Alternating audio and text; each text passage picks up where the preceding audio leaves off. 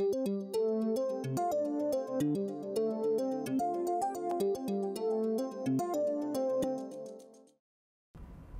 right, so let's take another look at this equilibrium condition for chemical equilibrium and see what we can understand about it in a more general case, uh, more than just a specific case for an ideal gas. So just as a reminder, when we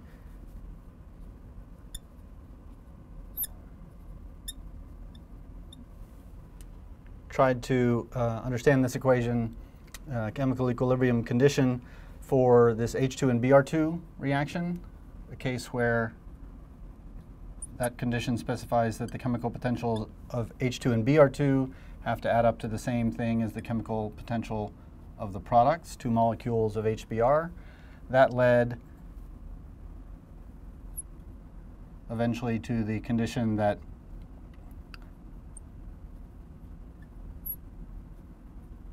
this ratio of pressures of HBr and H2 and Br2 had to be equal to some particular constant that we called the equilibrium constant under conditions of equilibrium.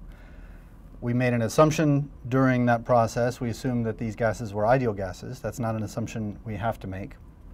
Uh, and it was specific for this particular reaction. So if we consider what happens more generally when we're at equilibrium, we can say if we go back to this equilibrium condition, um,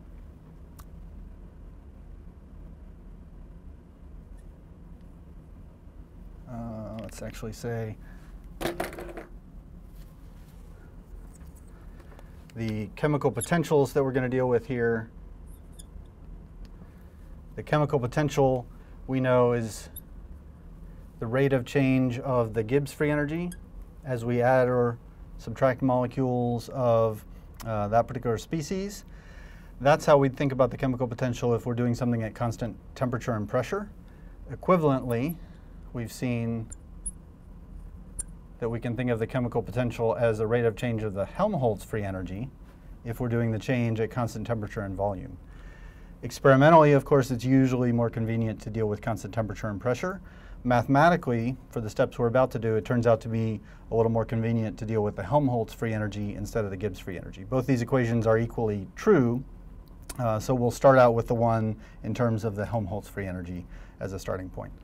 So what I'm going to do is I'm going to take this definition of what the chemical potential means and insert it into our equilibrium condition to find uh,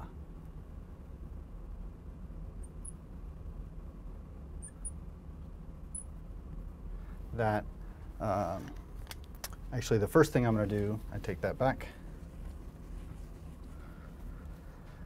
So what we'll do is in order to compute the derivative of the Helmholtz free energy with respect to uh, the number of moles of some species, let's go back to our statistical mechanics definition of what the Helmholtz free energy is. Helmholtz free energy is minus kT log of the partition function for the system. So the chemical potential then is the rate of change of that energy with respect to moles of some species. So I can write that as minus kT d log q d ni. This is an expression we've actually considered before. This, this capital Q full partition function for a system involving multiple species, um, we've seen before that we can write that instead of d log big Q dn, we can think of that as um, just a logarithm of little q divided by little n. And the reason that's true, I'll just remind you very quickly of why that's true. If the big system partition function, if we can think of that as a bunch of indistinguishable particles that are identical. So each uh, small particle has a partition function little q. N of the big N of those particles have a partition function of q to the n, but if they're indistinguishable, I divide by this n factorial. So log q is going to be the logarithm of 1 over n factorial, which using Stirling's approximation is the negative of n log n minus n. And I also have the log of q to the n, so that's n log q. If I take the derivative, remember we're interested in the derivative of log q with respect to n. If I take the derivative of log q with respect to big N, in this case, number of molecules, derivative of minus n log n is minus log n, and I have a minus 1 times 1, and I have a derivative of n is plus 1, and derivative of n log q is plus log q. The 1 and the negative 1 cancel, and so what I'm left with is natural log of q minus natural log of n, or natural log of q divided by n. So that's just a quick reminder or recap of why it's true that d log big Q dn is equal to the log of little q divided by n. So here's the expression we have for chemical potential. In particular, uh, chemical potential of one of the species in this system that's undergoing some sort of chemical reaction. If I insert that expression into my uh, chemical equilibrium condition, I will be at chemical equilibrium as long as the sum of stoichiometric coefficients times chemical potentials is equal to zero. So the sum of stoichiometric coefficients times chemical potentials. So chemical potential is minus kT natural log qi over ni. I'll leave the qi and ni inside the sum, but the minus kT I'll throw outside the sum because they don't depend on the, the index. And in fact, since these things, this product of things has to equal zero, I can just divide by kt on both sides, and that kt, in fact, just completely goes away. So what must be true is 0 must be equal to the sum of stoichiometric coefficients times natural log of little q divided by little n. That's feeling a little abstract at this point, so let's go back over to our H2 and Br2 system and see if we can understand what that means about a real chemical system. So translating this equation into the H2Br2 case, I'll say that 0 has to be equal to the sum of stoichiometric coefficients log little q over n. So in this case, my species are H2 and Br2 and HBr. So I've got negative log Q of H2 over molecules of H2. Stoichiometric coefficient for Br2 is also negative 1, so I've got minus log Q of Br2 over N Br2. And then the stoichiometric coefficient for HBr is 2, so I've got positive 2 log Q of HBr over molecules of HBr. So that's all this expression says. We can clean that up a little bit. In fact, let's, um, what we should do, I suppose, is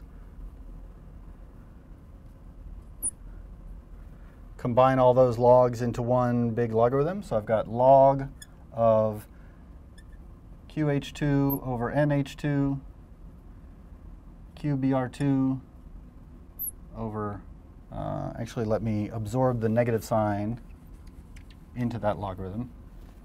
So this negative sign means it's actually the log of big N over little q for H2. Negative sign here means I flip this one upside down as well. So log of big N BR2 over little q for BR2. And then twice, it's positive, so I don't flip it upside down, but 2 means I square this term. I'm going to get the log of QHBR squared over NHBR, also squared. Now that I've got all those in one gigantic logarithm, if I undo the logarithm and get a 1 on this side, e to the 0 is 1, e to the natural log on this side just gives me this ratio of n's and q's. So I've got nh2 and nbr2 in the numerator, the other n I've got is in the denominator, NHBR squared. The q's, I've got a QHBR squared in the numerator, and a QH2 and a QBR2 in the denominator. Next thing I'll do is, is rearrange this and put the Q's on one side and the, and the N's on the other. So let me leave the Q's where they are on the right-hand side. I'll bring all the N's over to the left-hand side of the equation. Then when I turn those upside down, I've got products on top. So NHBR squared is in the numerator. NH2NBR2 is in the denominator. That's all equal to this ratio of partition functions, QHBR squared in the numerator, q of h2, q of br2 in the denominator. All right, so this was an elaboration of what this equation means for a specific case, this, this H2Br2 reaction. Once we had it written in this form, it became obvious that we should rearrange it a little bit and obtain this form. If I do the same thing over here, I've run out of room, so let's bring that up to here, 0 being equal to the sum of stoichiometric coefficients times this natural log. Remember what we did with those stoichiometric coefficients is we used them either to turn these uh, ratios upside down or to square them. So what that means is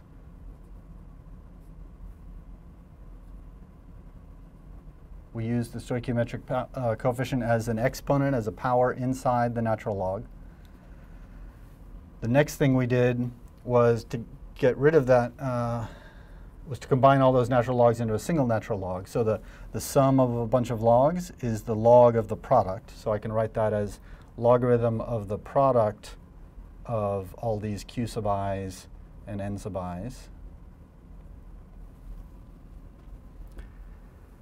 Now that I've got a gigantic logarithm, I can undo that logarithm by exponentiating both sides. e to the 0 is 1, e to the natural log is just this uh, product of partition functions over molecule numbers. And now the last step was to bring the n's over to the right, uh, left-hand side. So I've got product of molecules or moles on